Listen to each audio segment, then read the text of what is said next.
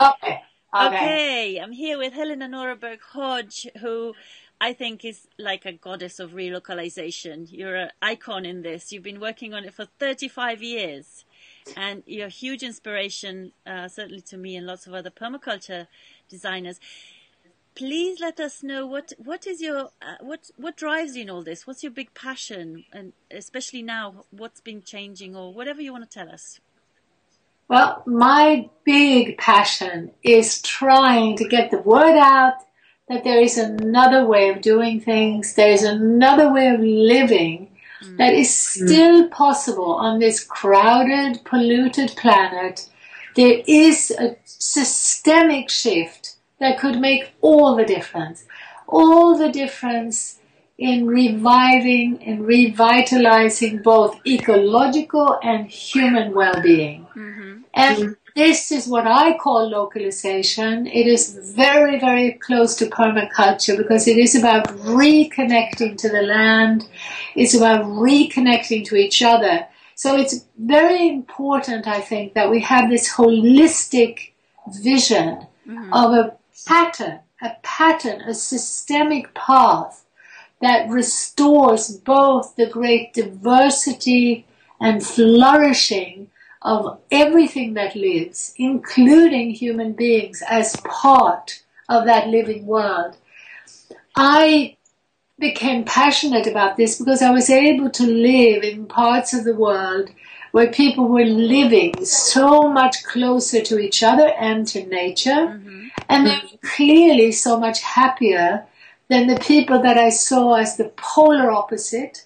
And they were people, even in my native country of Sweden, who were living in high rise apartments, you know, far removed from the living world and so isolated from each other. Mm. Very often, you know, in Stockholm already 30 years ago, more than half of all the dwellings, there was one person living alone.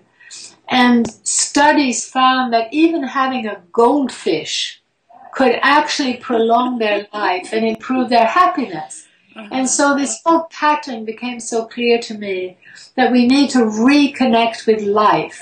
Yes. And that means rebuilding the community fabric and rebuilding our deeper connections to the soil, to the air, to the water. And what I found is and what makes me even more passionate about this is that in the Western industrialized parts of the world, a lot of people have gone through the path of high pressure, competitive, you know, urban uh, economic structures. They have finding that they really are not happy. They don't find that satisfying.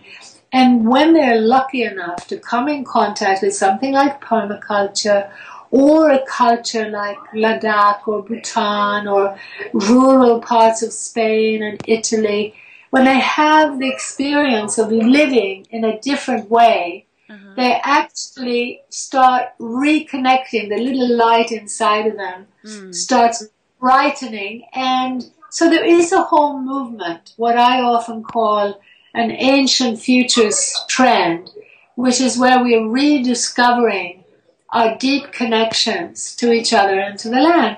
And it can sound, you know, a bit uh, fluffy and a bit uh, maybe exaggerated, but what really makes me happy is seeing that, for instance, today in America, the number of farms has actually increased. This is after over a hundred years right. of a path where the economic pressures were pushing every farmer to either merge or die, become bigger and more industrial, uh-huh. use more, you know, patented chemicals and hybrid seeds and machinery to become a big industrial farm.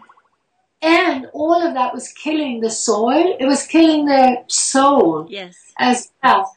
And now, as people have discovered the joy of more diversified growing, how different the work is, how the soil flourishes, how they flourish, there is a movement towards more small farms, and it's very much part of the localization movement. And there's this wonderful coming together of permaculture and farming. Uh-huh. I believe the way forward is essentially about figuring out how we can get the word out so that more people start joining in into these movements. And even if they are living in the biggest cities and the big high-rise buildings, they can still connect with Yes. life from where they are. Yes. And, and I think these connections uh, are needed, you know, very soon because if not, you can see that the depression, the unemployment, the gap between rich and poor, the loss of democracy is so depressing to people that it's virtually killing them. Yes. So it's vital that we do what we can, not only to do the practical work on the land, but that we put more effort into what I call, you know, education as activism, Yes. getting the word out, Yes. getting the images, you know, the actual pictures of what's already happening in these movements that are about reconnecting to the land and reconnecting to community. The work of spreading the word requires a sort of urban, it requires that we make use of the computers. And I don't recommend that anyone should do that full time, but I do Yes. try to encourage people to spend some of their time doing that. Yes. Uh, and another key thing for me, another thing I'm passionate about, is that we should change the I to a we. I have found that encouraging people to reconnect or to connect with some like minded people where they live, maybe from their workplace, maybe neighbors, maybe not neighbors, just people in reach. Uh-huh. Find like minded souls Mm. and your efforts in connection hmm with it makes it much more fun it makes it much more um, doable because you can have a much bigger vision when you say what can we do Yes. as opposed to what can i do in my isolation Well, we're really delighted to have you in our big we for this 24 hours of uh, uh, celebrating permaculture all over the world. And uh, thank you so much. We'll um, we'll have you launching this. Okay, it was so inspiring, and thank you Thank so you. much for your amazing work. And um, thank you, thank you, thank I you. I also want to say a special thanks to my friend David Holmgren, who is one of my great heroes. Okay, we'll have him on as well. Uh, so, All these wonderful people around the world who are involved in permaculture. yes. Thank you. Thank you for being a huge inspiration. Bye bye. Thank you. Bye bye.